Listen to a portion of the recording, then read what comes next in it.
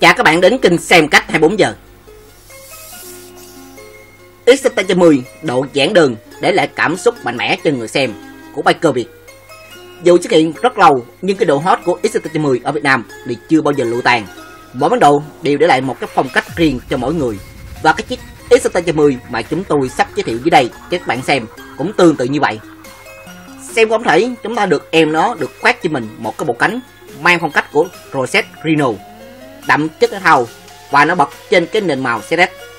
Bên cạnh đó là những món đồ chơi kiển tăng thêm cái độ hot đẳng cấp cho em nó.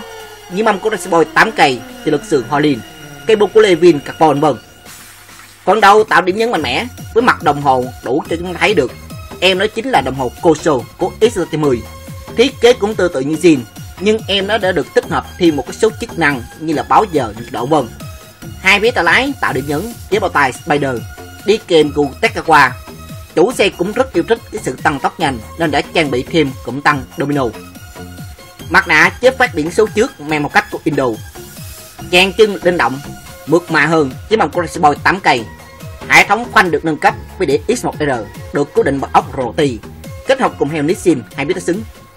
Chính vì đi heo hai biết nên chủ xe đã xuống cái vỏ phục X1 105 để khỏi làm chất phát lại và chỉ việc gắn như xin phố Colin bị dầu rời cho nên chúng im ái hơn, cũng như tăng thêm cái độ cầu kỳ thể thao hơn.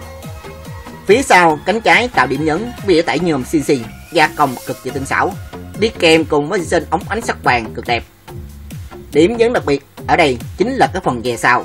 Thay vì lo bỏ cái chè zin bởi thiết kế là quá thô sơ, để thay thế bằng cái dè của SS hay là Sonic, thì chủ xe lại bứt phá hơn bản đồ này hơn bằng cái dè của i15 ZR của nước bạn với thiết kế đặc cách được tích hợp thêm một cái mắt mèo ở cái mũi dè. Để cho âm thanh tê tái của lực hơn thì em đã được chủ xe trang bị một cái bộ ống xả Levin carbon, cho ra thứ âm thanh tê tái quy lực hơn. Quay 100 y, độ mang cái sắc hồng đầy cá tính của dân chợ Thái.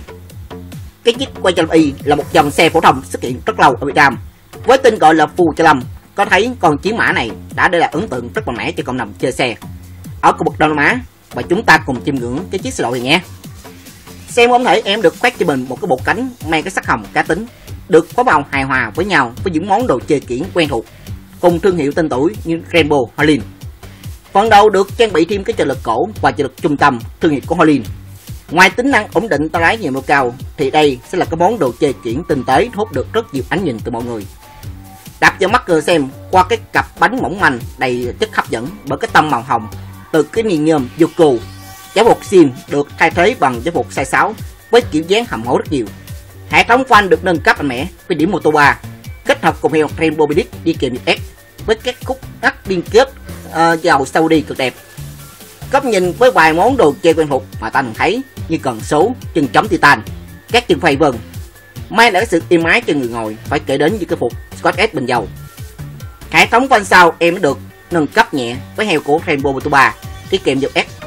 Không chỉ để kiển mà tác dụng của em nó cũng không hề nhỏ. Ví dụ điển hình là lực phanh dịu nhẹ, ổn định hơn. Em rất nổi bật trong một buổi offline của lúc quay 150 nước bạn.